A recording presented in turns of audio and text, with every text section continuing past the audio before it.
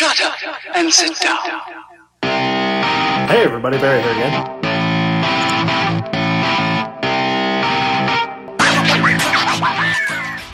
Hey everybody, Barry here again. Engine build is going really, really well, so let's keep at it. Just a quick update on the turbo situation. This thing here was a bit cooked. The bushings and everything in here are fine, but the compressor wheel, which was here, was all chewed to pieces. Fins were bent, like something got in there and wasn't really happy, like a rock or a small animal or something. So I got that taken apart and sent out to fix all because I have a compressor wheel that's in great shape, but the shaft is uh, somewhere around two millimeters smaller. So I need to get the shaft bore opened up so that I can use this compressor wheel on this turbo. He's gonna put it on a lathe for me and spin it down and hopefully it works. If not, I said it's not a big deal because it already doesn't work. So it's not gonna like, it's not gonna work less. So I'll have an update on that soon, hopefully. And as, as in any case, ever before. If anybody has an old dump truck turbo around Central they don't need or want to donate to the channel or something, that'd be like awesome. because I don't have anything solidified yet and I really want a turbo rat rod. Or if you've got a good turbo for a decent price, like let me know.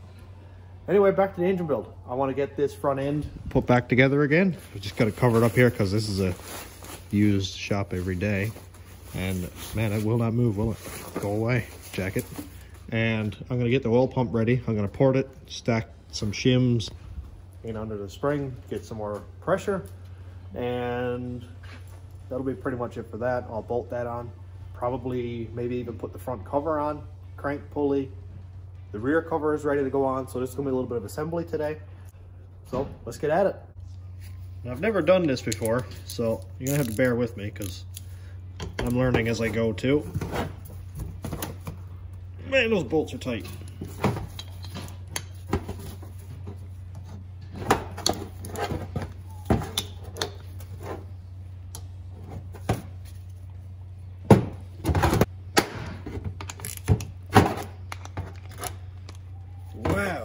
Did not expect that. Okay.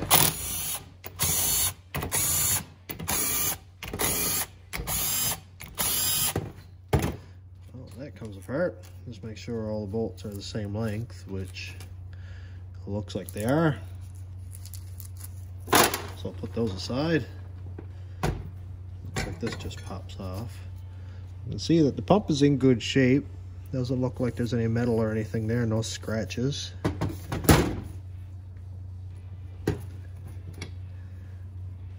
This is in good shape. A little bit of dirt came off my hands there.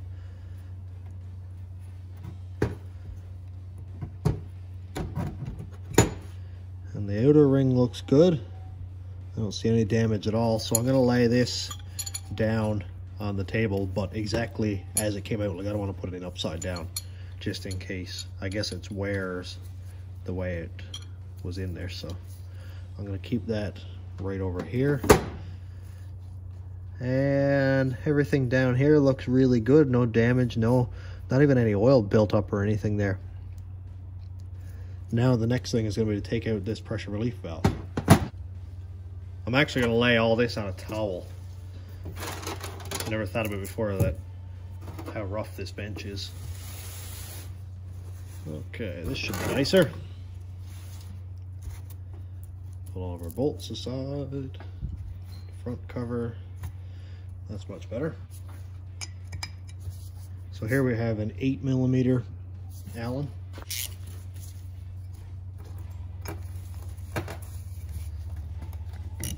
Huh. It wasn't as tight as the front cover bolts were.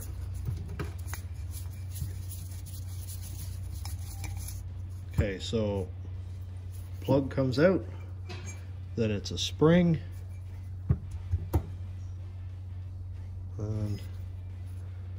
there's a little valve in here too, right down there. I don't know if that one has to come out or if it can come out all the way. Oh, here we go. I just want to see what it looks like. Yeah, so it's just a standard valve. I'll clean it up, put it back in, make sure there's no dirt or old oil left in there. So it goes in with the plunger facing up into the pump. So starting with porting, you can see that there's a really thick ledge right here. Not out where the oil pump O-ring sits here, but in farther, this big thick ledge that's right here. So I'm going to smooth this out with the surface here. And that's going to let oil come into the pump a lot smoother instead of hitting this at ledge. And then after, we'll port the outlet here to make it take advantage of all this space around here where it comes into the block. And for that, I'm going to use a, one of these little small stone things on a regular drill because I don't have a Dremel, but that should work fine. Might just take a little bit longer.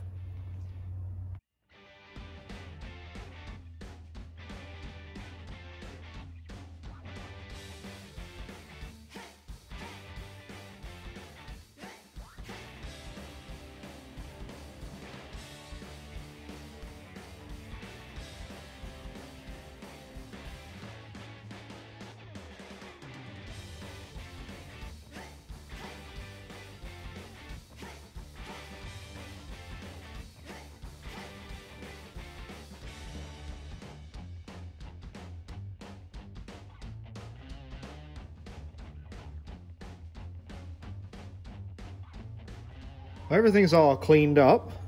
We can see here that that looks much smoother. That looks way better. Now oil's not going to hit the wall in here. It's just going to be a nice smooth transition from the pickup tube into the pump. And then I could have done this a little bit cleaner, but I didn't have the right tool for it. So just kind of smoothed out the edge and it's not as sharp now. So it's going to go from the pump body into the block a lot smoother. Now some people like to dimple this gear here to create less resistance and stuff, but I'm not going to mess with that just because I haven't done that side of it before. Maybe the next time I will. But as for now, we're ready to stack a shim in under this spring so it can hold more pressure. Now to shim the spring, I found a bunch of these little tiny washer things. Now they're very thin, but they're cupped. Now the cool part about that is the spring actually fits perfectly in the cup. So it's not like the spring can move around or anything when it gets in there. And these, the thickness is not very much. Looking at about 15 thousandths. So they say to use about 70 thousandths. So we go 30, 45, 60. Now there's probably going to be a little bit of space between these, but they will compress. I'll just go 75 because there was one video where a guy said he did 100, so not serious. And I'll just uh, sort of compress these together in the vise a little bit. I just compressed two in the vise and it looks like they go pretty flat. So I think I'll do 15, 30, 45, 60, 75. I think I'll just do the 60. It's not going to hurt to go in under a little bit, but I don't want to go over too much. So I'm just going to pop them in here like one at a time. Let's see if we can get this in there straight without beating it up.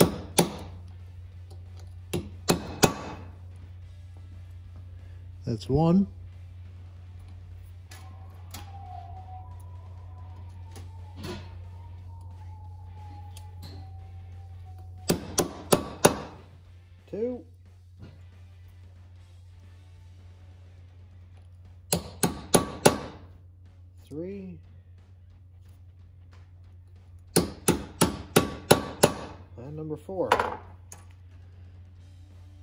Place. And now, looks like the spring sits in there really well. And because this is what I use as assembly lube, I'm to put a little bit in this cap here. And that's what I'll lubricate those gears with. And now I'm ready to install all this junk again. So here's the plunger, the pressure relief plunger. So I'm just gonna put a little bit of this on here so it doesn't go in there dry and end up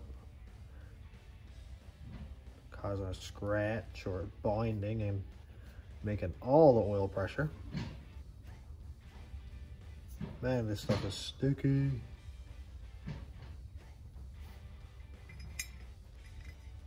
There we go.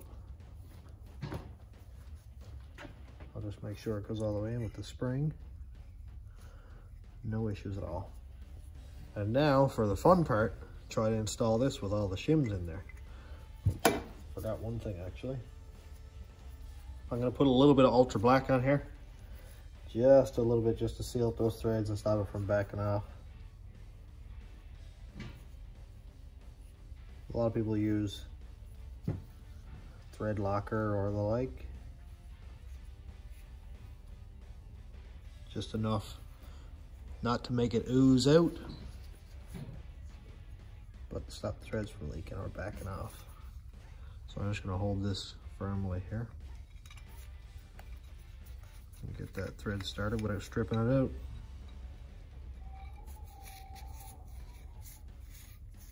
There we go.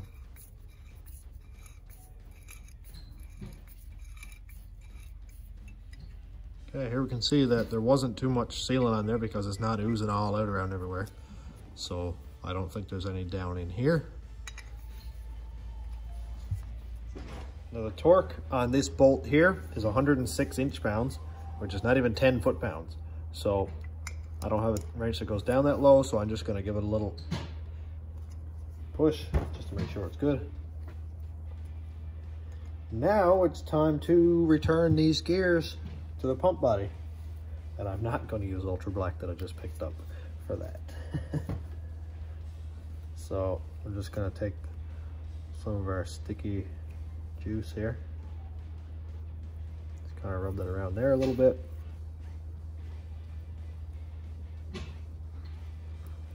I'm sure this should help a little bit with picking up oil on the first start, although I am going to prime the pump also. Put some of that down here. I'll make sure everything here is lubricated so there's no dry spots when it starts up.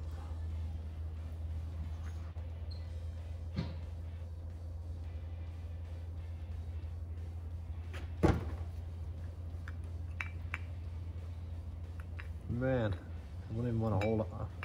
Stay there. that is wicked.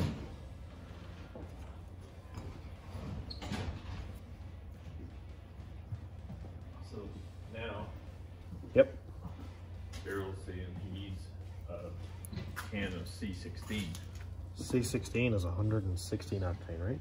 Yeah, well, 117. Is it? But yeah, same. So So that'll be that's harder to get. C16 you can buy. There's a company in Nova Scotia that sells it. I actually, it might actually be VP. The guys who to the racetrack Oh at Avondale get drums of it brought in. Yeah. Yeah. And that dimple was on the top. So that's what he was trying to find somewhere on the island to buy it. Yeah, was nobody nobody sells it on the island. No, that's what is, you know. Um, if he said that he can get it of Quebec from a company that makes clotes, or clo- clots or clotes, oil. KLOTZ, right? Yeah. Clots, yeah. Yeah. Or what I think this was called anyway. Yeah. Um, if he can get a hold of the guys at um, Eastbound Eastbound Speedway, yep, Yeah. that's they get drums of it brought in for people, Okay. so he'd be able to get it through them. I don't know what the cost is, but I imagine for a drum of it is not real cheap. Yeah. It's probably four or five dollars a liter. Yeah. That's the thing. He only needs like a five gallon. Just one of those. No, they might sell that too. Yeah, that's a. No, that's a. That's a drive. I told him the issue is the, the you know like people don't like shipping gas like that's that's Yeah. why it's tough to get right because Yeah. it's, it's you're shipping a explosive fuel you know Shipping a bomb. yeah like, you know the additives aren't as bad because they're Oh, this will work.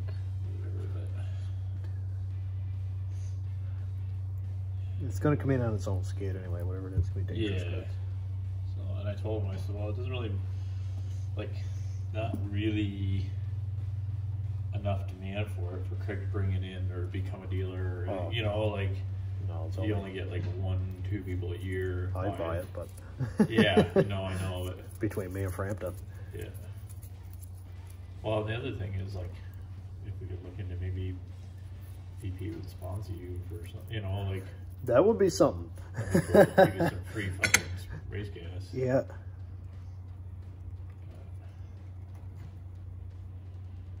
Ooh, get an oil pump.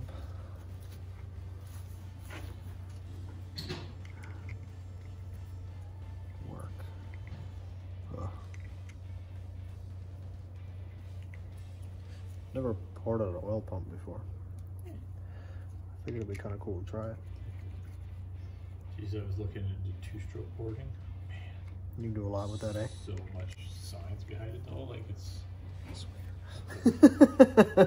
no worries. There's a lot, a lot of flow signs isn't there? so much beep beep beep beep beep. Yeah, that's funny. Um, I thought about doing it one time, yeah. but then I was like, no, I'll mess it up. I was gonna port the heads on my old citation. Yeah. There's just uh, so much stuff like you port porting a two-stroke just changes the timing of it, like right? When well, it- yeah, I guess it would. Have yeah, fuel it's not, quicker. uh, yeah, it's not. It's Not the same as the four-stroke engine. How do you adjust timing of two stroke? Do you open a ring gap more, or do you? Like the All right. advances in timing. Oh, okay.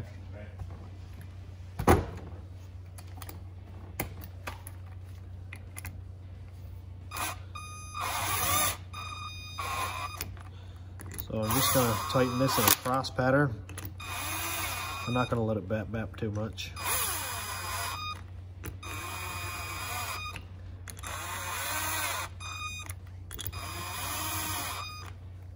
Now the cover bolts here are 106 inch pounds also. So I'm just gonna tighten those down until they don't want to really turn anymore.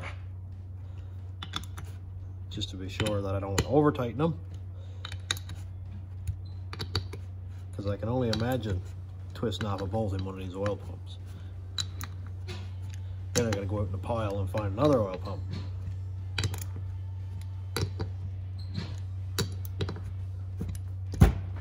Mint.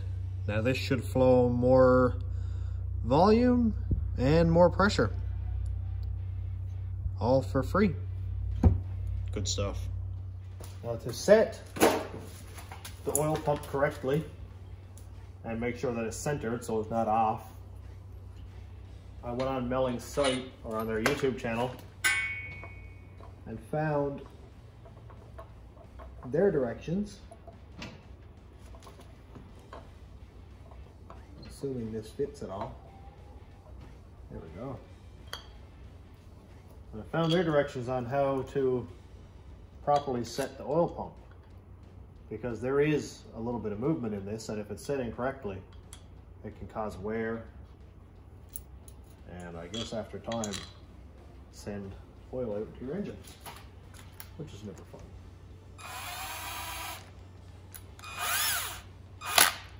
Relax.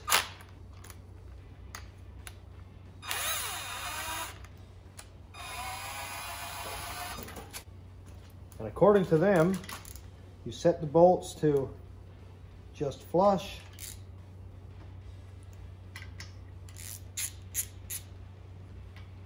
But not tight, so that the oil pump itself can still move around. And then rotate the engine a full revolution. It looks good to me. I'm just going to back them off a little tiny bit and just try it again.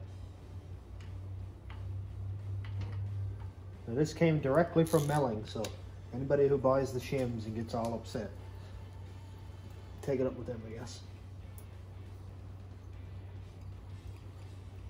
And then they said torque it down.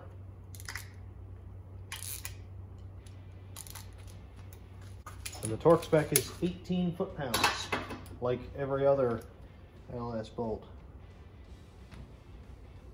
And it's already set on 18.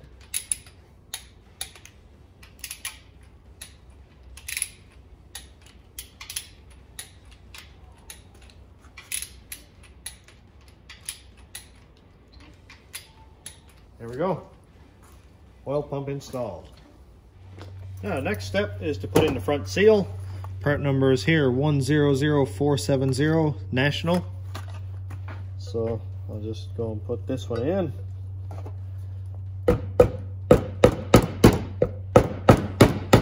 Seal installer would be ideal, but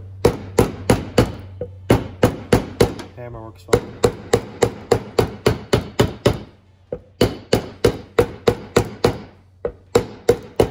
Just gotta make sure that it's seated in all the way. We'll see if we can get this one to sit in place. I am gonna paint it before I put it in, but uh, super tight. Just gonna give it a quick go over with this, not remove any material, just clean the paint out of it.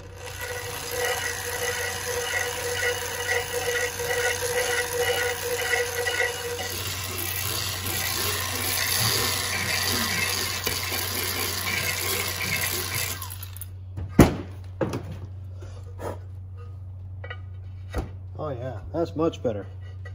And the O-ring here will seal it and stop oil from getting out. But I do have to paint this one first, so I'll install that later. Now let's put it on the engine. Now I did forget one important step, and that is to paint all the heads of my bolts.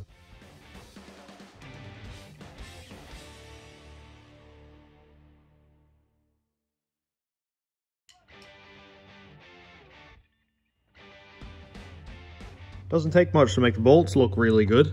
I figured I'd go ahead and paint these first because not much to it. So I used regular roll bar and chassis paint. It's enamel and well, it won't wear off as easily. So I'm gonna give it another coat or two just to really make them black. I might as well paint the sensor actually while I'm here too. So I'll stuff a little bit of tape in there and wrap this up and uh, that'll go black too. Well, the cover is ready, front seal is in, cam sensor's painted, bolts are all painted. Now I can get ready to bolt the front cover on, and I'll also do the back cover after. So to do the front cover, it has to be aligned perfectly with the block, so the oil pan mounts flat to it, and also left to right so that the crank sensor seals up correctly. I do it a little bit different. I don't use an alignment tool or anything like that. Usually I'll put all the bolts in like hand tight so that the cover is solid and then press my pulley on and then rotate it to find where it matches the block.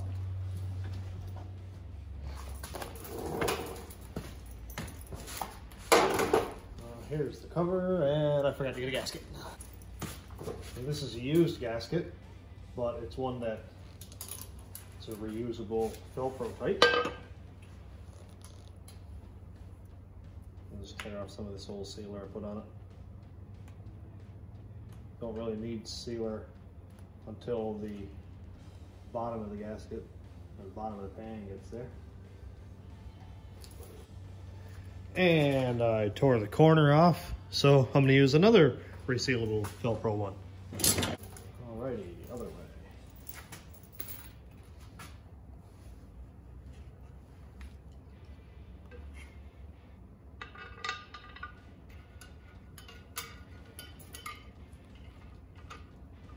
I'm used to this being upside down.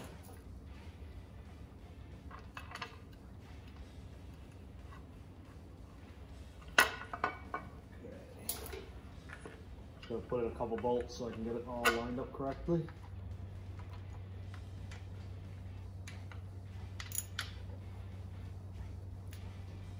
The cover is pretty much uh, there anyway, tight, because the holes aren't elongated a lot. So it's not like you can move it around a bunch, but it does have to be pretty much perfect. And I just realized that I did it completely backwards because my gasket's backwards. I didn't think all the bolt holes would line up like they do.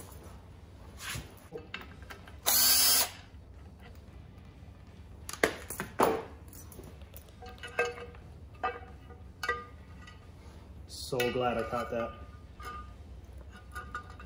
before putting the balancer on.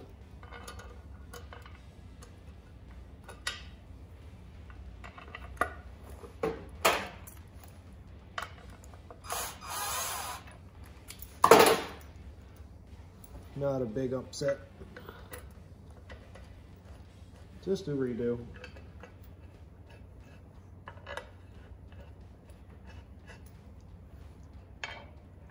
I got a lot of wiring to do with this yet too.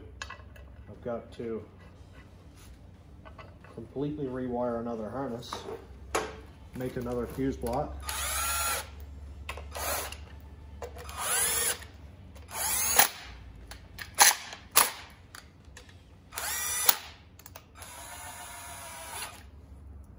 I'm missing one bolt. Where did I put it? There it is.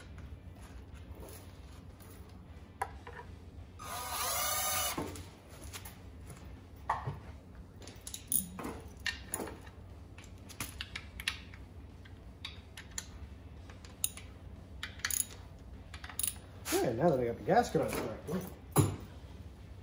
move on.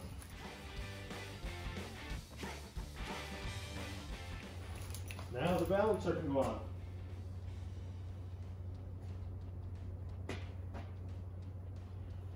And I just sprayed some paint on it. It's- oh yeah, it's still wet. yeah. So, I'm gonna put in this old bolt. Block of wood.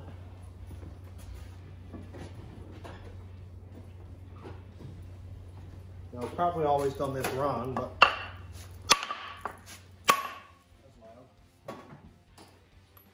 I usually like to bang it on a few times like that.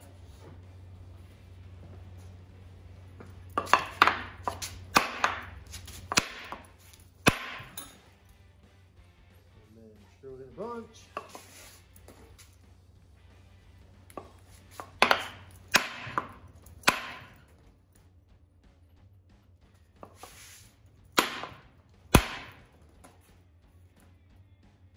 Get it on so far. And I'll pick up the rest with a wrench.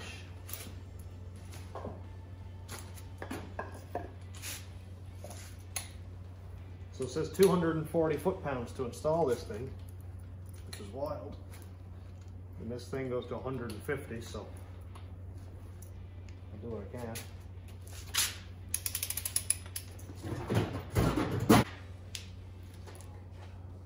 Why aren't you working?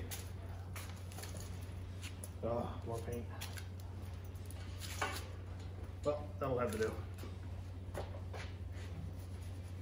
I forgot to paint the balancer, so I did it in a rush.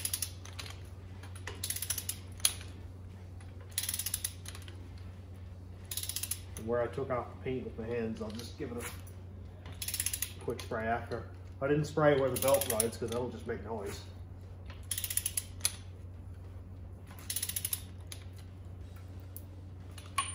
Okay, so over on this side and get right in your guys' way.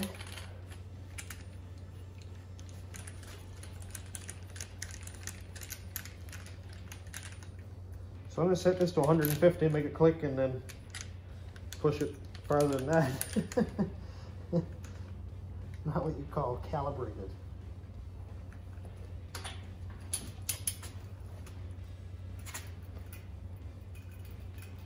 Man.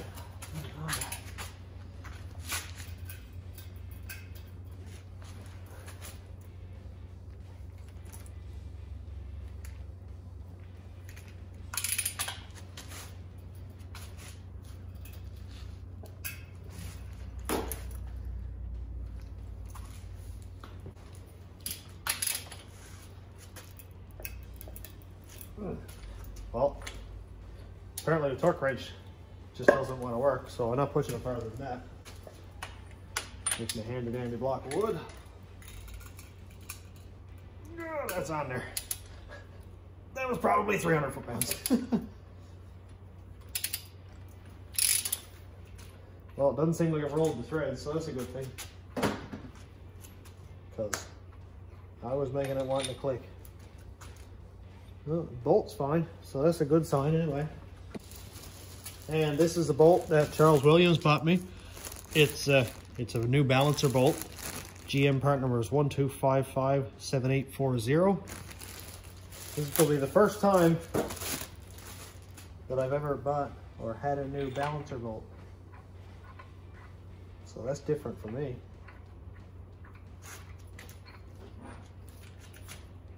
I don't really trust this torque wrench anymore. Okay, I got a new torque wrench. This is the best part about CarQuest having a lifetime warranty. So, 37. Oh my.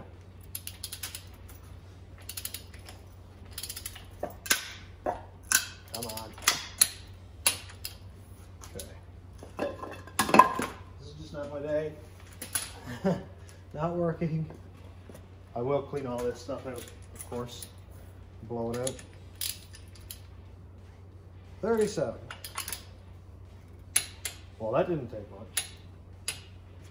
140 degrees, man, that's a lot. Oh. This will be 90. This will be 180. So we'll go sort of halfway between that.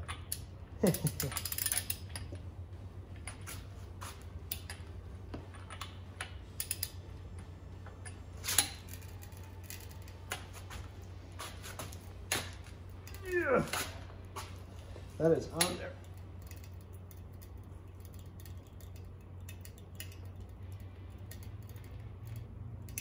Yeah, okay, that's it. My ribs hurt. Installed. That new bolt is pretty. Okay. Okay, now we're getting somewhere. So now I'll slack all the bolts on the cover and then just kind of line it up with the base of the, the block for where the oil pan sits. That's the way I've done this all the time. I've never had a front seal leak. But, you know, I'd never say no to a set of uh, seal installers either if I could find them. But sometimes they can be hard to get around here because everything takes like a month to ship. But that's it. So now I'll just go ahead and do this. I'll put a rag or something over the back of the block and give this a quick spray. I don't need you any more block of wood.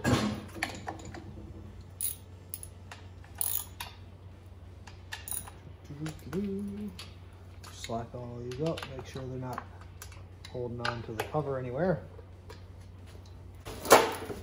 I'm just going to use a square to get the cover flush with the block. And should be able to get it decently close anyway. A little bit of RTV will make up the rest, and those gaskets are really thick.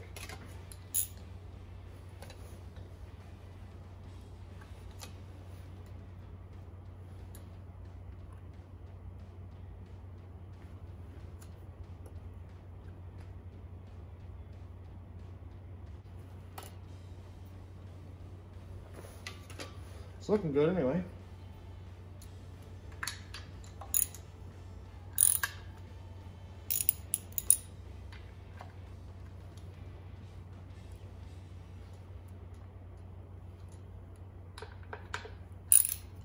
And like every other bolt on this engine, it's 18 foot-pounds.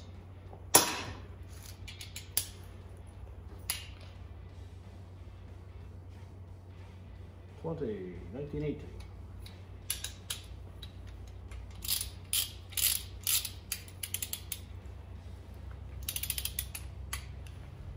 One, two, three,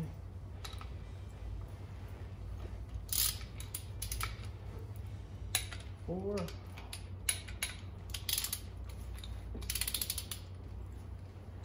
five, six,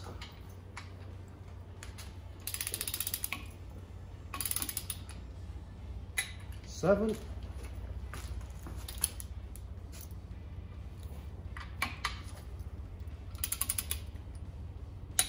and eight. I'll check them all. Make sure none are loose. Always good to count. It's always good to check them all again. I don't really like leaks. Mint. Well, that looks really good with all the black bolts and everything. The green and black goes together really, really well. While I'm here, I might as well put the rear cover seal in. Part number is 100085, a national again. Yeah, that's cool because it comes with this installer thingy. I guess that goes on over the crank first and uh, doesn't tear up the seal. So I'm gonna just smack it in with a hammer like I did before. I know this is not ideal, but it's what I have. So I'm just gonna smack this in with a hammer and a big hammer. Let's go with a smaller one.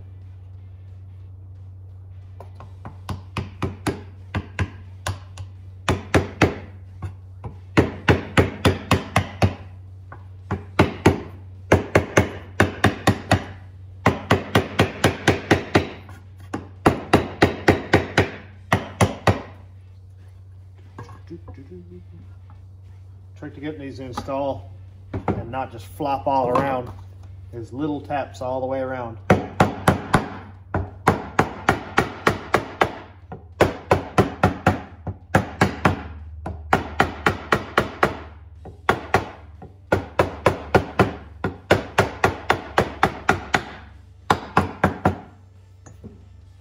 make sure that it's seated, which it is.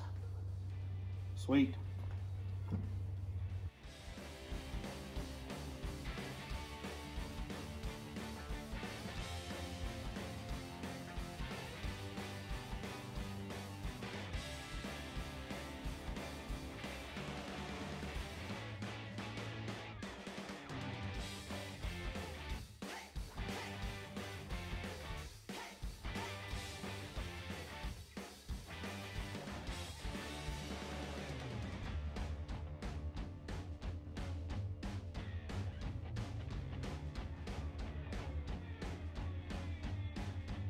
We're getting down to the minor details now on this front cover.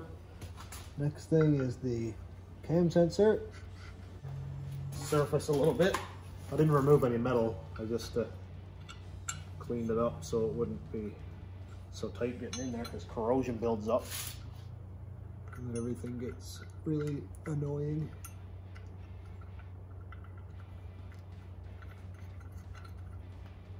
Do, do, do.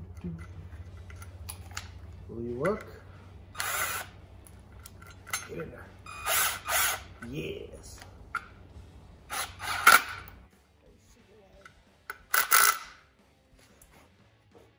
suppose I should hook this bit of tape out so when it plugs in, it actually connects. Man, I love it. Well, we're getting down to the bitter end now of probably the halfway point, but whatever. What's next? Pistons. Pistons. I want to talk about pistons. So I was going to do flat top pistons, and I say was with a with a heavy heart, but nine and a half to one, nine six, nine seven, whatever it is. Twin turbos. It'll survive because the compression isn't absolutely through the roof. It will take piles of boost, and well, I'm going to gap the rings anyway. So what I was thinking was, I don't, I can't really afford to go and spend like $500 on twin turbos and another 260 bucks on pistons, another 300 on wastegates, gaskets. It's going to come up to really, really quickly be like 1500 bucks. So I think I'll skip the pistons. I'm going to go put those in and like maybe buy one turbo at the end of this month when I get paid from YouTube because of all you guys. You guys have bought me a turbo. That's so cool. So one at the end of this month, and then when I get paid from YouTube again next month, maybe I can buy the second turbo then, and then work on it over the spring, or I should say over the, the rest of the winter. Um, buy like a wastegate here and a wastegate there, and a little bit of oil lines, whatever. And um, I think that's the plan for now. So right now what I'm going to do is rings because I haven't filed the rings yet. And I done a, I did a video on filing the rings before, like an in-depth how-to video. So I'm going to bomb it on time lapse. Probably probably do the first ring as like a, a full time because that's how I've been going with this build. And then not bore you guys doing the other eight cylinders We'll do one in full time and the rest of them on Bangland time lapse and listen to some nice relaxing music or some techno or whatever I'm in the mood to put on, I guess. So hopefully you enjoy it. Alrighty, so here are the rings. I've got more than I need, of course, because I scrapped uh, la, la, la, 16, no, 14 pistons. So I've got a lot of rings to pick from. And I, um, I think I might have already picked through some of them and took out the junk ones. And uh, I'll pick eight of the best. And as for the oil rings and all that down here, it doesn't matter anyway. I'll just pick what's not rusty. So I just checked online, and for a boosted LS, they say to go somewhere around 25 and 28. But just because I like to overdo things, I'm going to go 28 and 30. So 28 thousandths on the top ring, 30 thousandths on the bottom ring, and I'm not going to touch the oil scrapers because uh, I've never done it before. Not that I haven't had pistons cracked, but they always take out the top ring lands, so I don't really care. I'd rather not burn more oil. Now, as for going bigger than the recommended spec, I don't mind losing one PSI of uh, compression just to, you know, be a little bit sure that I'm not going to crack that top ring land. I've had it happen, it sucks. I don't want to rip the engine apart because it took out a little corner of piston. This is stupid. I'd rather put a hole in the block. I'd be happier with that. So, let's, uh, I'm going to check these out really quick and we'll get to gapping.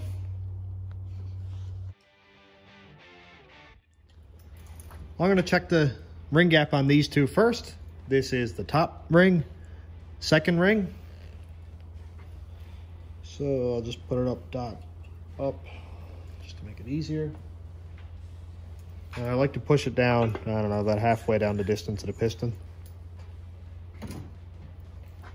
And so the top ring needs to be 28. I'll just see if that's anywhere close.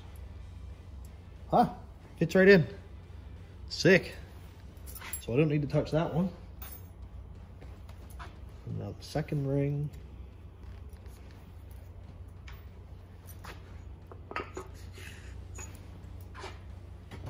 Now the second wants to be 30. I'll just check to see if it's anywhere near 28. Ooh, this might work. Sick. I don't have to touch it at all. That's definitely a benefit of having an engine with like 300,000 kilometers on it. Automatic ring gap.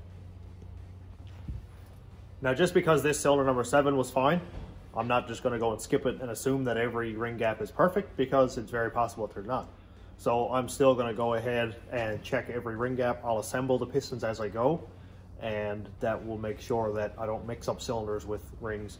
Not that it really matters. Like these rings are out of a different engine. I really could care less where they go back in. But if I check it and it's 28 thousandths on the cylinder 7, I'm going to put it back in cylinder 7. So I'm going to go and put it on time lapse and bomb away till this is done.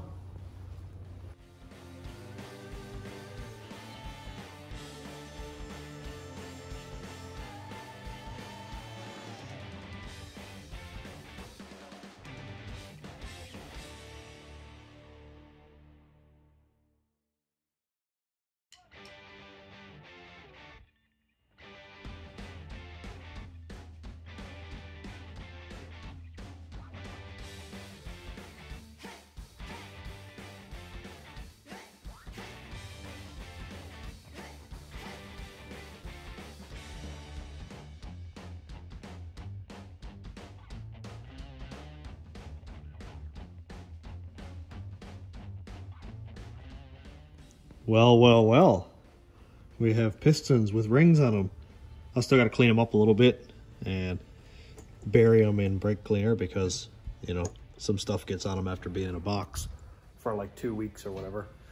While I've been waiting to put this together, but they're ready to go in. Now I'm going to do that in the next video because this one's starting to get up there in time again and it's nice to pace ourselves.